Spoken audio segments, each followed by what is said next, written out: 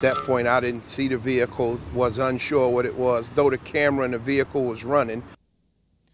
Well, a very close call over the weekend. You see it right Oh. there. Wow. This for a veteran police officer.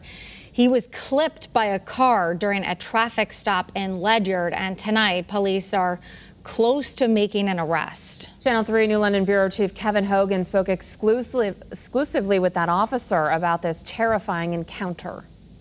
It's amazing that the car that struck me didn't hit my cruiser. 51-year-old Ledyard police officer Mike McKinney was completing a DUI stop around 2:30 Saturday morning right here on Route 2 in Ledyard. Your vehicle is exactly where hers would be. My vehicle is extended over to give me space if I'm coming to the driver's side of the vehicle. And literally, as I said to him, close the door so we can make sure you don't get hit over here. The backseat passenger called me, I leaned, and I was struck. Stunned, McKinney tells me he looked around and called headquarters. Give me a vehicle. I mean, a minute. Vehicle just lightly struck me.